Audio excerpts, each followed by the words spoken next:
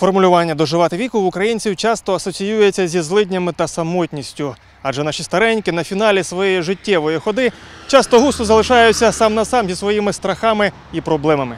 І тут у гру вступає держава, яка має віддячити людині своєю підтримкою. Саме для цього і функціонують геріатричні центри, будинки для літніх людей. На Чернігівщині два геріатричні будинки, де доживають свій вік старенькі. Один у Чернігові, інший у селі Часнівці Козелецького району. Саме на нього чиновники обласної адміністрації виділили цього року майже півтора мільйони гривень. Ремонтуватимуть підсобне господарство. Чилайно вирішив перевірити, куди ж збираються витратити чималу суму грошей і чи є у цьому потреба. Однак потрапити на територію геріатричного будинку виявилося проблематично.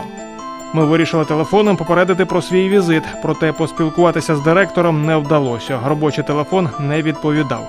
І навіть по проїзду знімальної групи керівника не застали на місці, а без його згоди працівники установи на територію не пропускали. Закрита територія.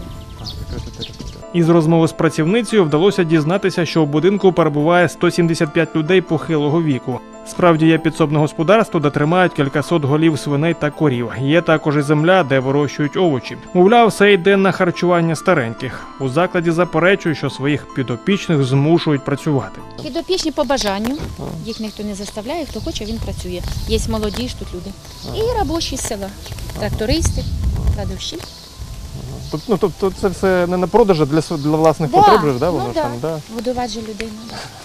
У США та Європі державні органи влади дуже уважно ставляться до людей похилого віку. Якщо, наприклад, людина дуже старанно пропрацювала все життя і на пенсії хоче жити у комфорті, вона може претендувати на апартаменти з усім необхідним комплексом послуг. Вартість такого проживання становить в середньому десь 50-70% від пенсії.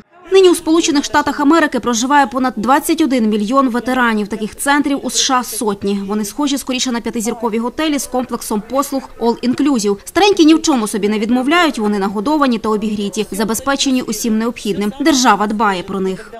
Директор будинку Микола Шапка через кілька днів після нашого візиту пішов у відпустку, а його заступник на прохання відвідати заклад відмовив, посилаючись на відсутність керівника. Українські гаріатричні центри працюють за принципом менше знаєш, краще спиш. Інакше як пояснити таку закритість закладів від стороннього ока. На територію не потрапиш, з керівництвом не поспілкуєшся.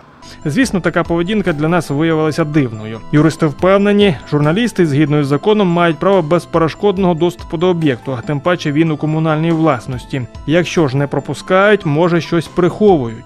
Якщо це форма комунальної чи державної власності, то взагалі-то неможливо перешкодити діяльності журналіста прийти чи іншій його е, зйомці чи е, обрання інтерв'ю чи формі спілкування в рамках журналістської діяльності.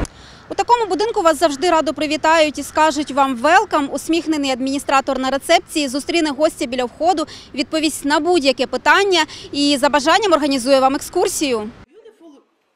Живуть старенькі за квартирним принципом. У кожного своя оселя, оздоблена та мебльована саме так, як хоче її мешканець. Все залежить від можливостей. Кому вистачає однієї затишної кімнати, радіє тому, що є. Хтось хоче трикімнатних апартаментів, доплачує. Тут все зроблено за принципом зручності та комфорту. Всюди є безкоштовні візки, працюють ліфти, а в коридорах завжди стоять живі квіти. Та й персонал до стареньких ставиться як до своєї родини.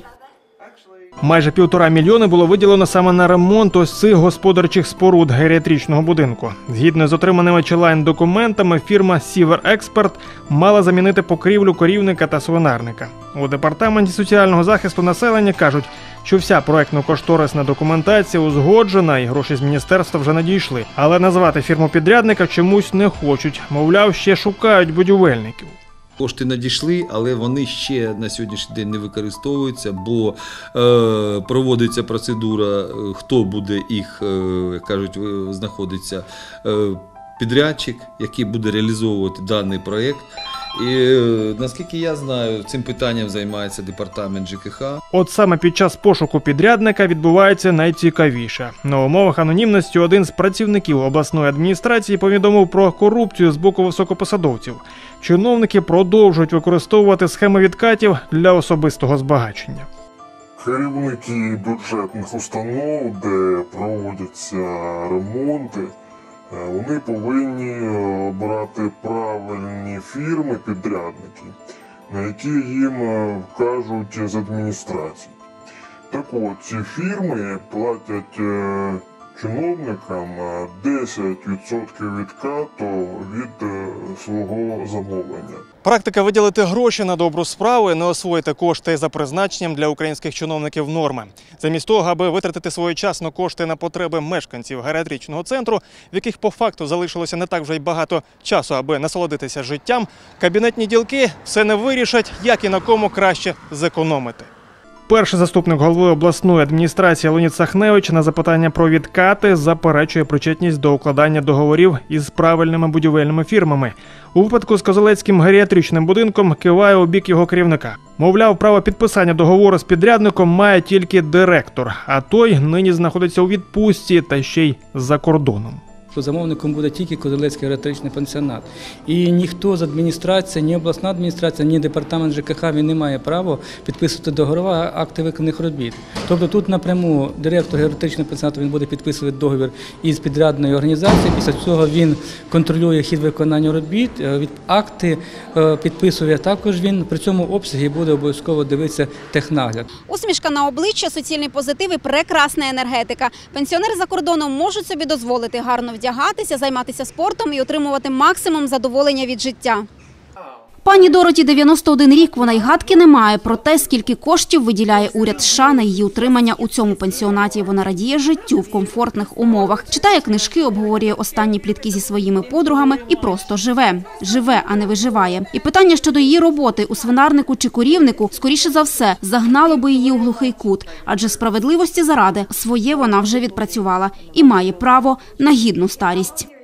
Це лише початок нашого журналістського розслідування. Ми обов'язково потрапимо на територію і Чернігівського, і Козелецького геріатричних пансіонатів, щоб у повній мірі показати суспільству, як влада насправді турбується про стареньких. Якби чиновники не намагалися заховати від нас свої гріхи, ми обов'язково дізнаємося правду і розкажемо вам про неї.